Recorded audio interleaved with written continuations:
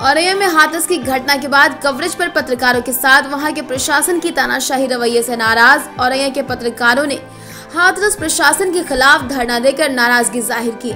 ज़िले के पत्रकारों ने हाथों में तख्ती व अपनी माइक आईडी को रोड पर रखकर औरैया के सुभाष चौक पर हाथरस प्रशासन के खिलाफ नारेबाजी की, गौरतलब की हाथरस में गुड़िया के साथ दुष्कर्म के बाद हत्या की घटना के बाद से ही पत्रकारों को पीड़ित मृतिका के परिजनों से मिलने नहीं दिया जा रहा था।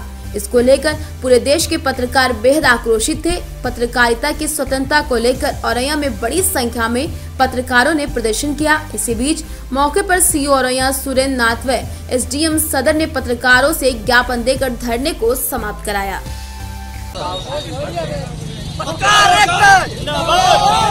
पीएम की तानाशाही नहीं नहीं पीएम हाथरस की तानाशाही नहीं चलेगी नहीं चलेगी हाथरस डीएम तेरी खैर नहीं खैर नहीं खैर नहीं हाथरस डीएम तेरी खैर नहीं। खैर नहीं खैर नहीं। डीएम की तानाशाही नहीं चलेगी नहीं चलेगी। ब्यूरो रिपोर्ट तेजस खबर।